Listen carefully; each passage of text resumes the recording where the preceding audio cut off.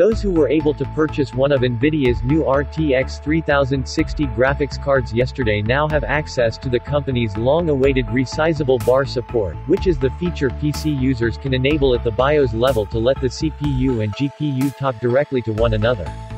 This is a big deal, because that instantly helps boost game frame rates. Support for this feature rolled out with NVIDIA's latest driver update yesterday, but only affects the RTX 3060 at this time.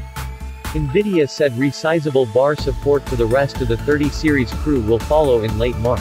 However, like AMD's Smart Access Memory, SAM, which is just another way of saying resizable bar, compatibility is limited to specific CPUs and motherboards.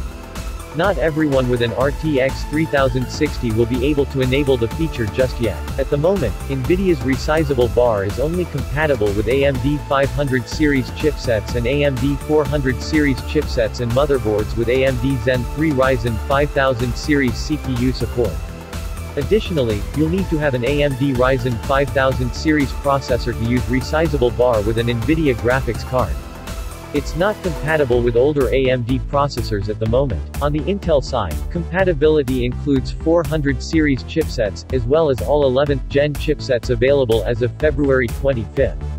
However, because Nvidia has been working closely with Intel to get this up and running, it seems likely that resizable bar will be ready to go whenever Intel releases its 11th gen desktop CPUs and the next chipset generation. Nvidia lists the 11th gen Core i9, i7, and i5 as being compatible, as well as Core i9, i7, i5, and i3 10th gen CPUs. Resizable bar will also be compatible with motherboards from all major manufacturers, including Asus, AS ROG, Colorful, EVGA, Gigabyte, and MSI.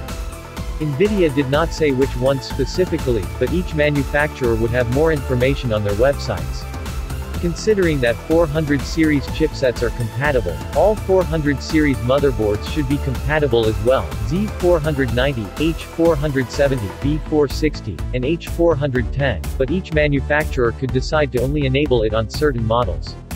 Always best to double check. I wouldn't hold your breath for resizable bar to come to 300 series Intel chipsets anytime soon, either. That chipset, which supports 8th and 9th gen CPUs, will reach its end of life by January 2022, so it's likely Intel won't focus on compatibility for that generation. RTX 30 series gaming laptops also support resizable bar with Intel and AMD processors. Again, you'll need to check with the laptop manufacturer to see if it's supported on a certain model. The MSI GP66 Leopard, for instance, does support it. But even if your PC checks off all those boxes, you won't see a frame rate boost in every game, as is the case with AMD's SAM. Right now, there are only a handful of games that support resizable bar with an NVIDIA GPU, which include Assassin's Creed Valhalla, Borderlands 3, Metro Exodus, and several others.